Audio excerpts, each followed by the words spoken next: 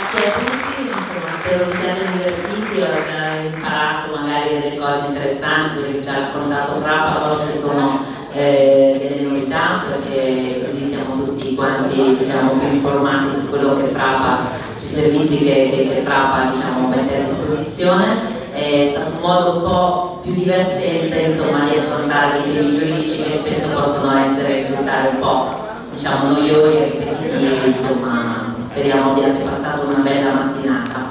Grazie.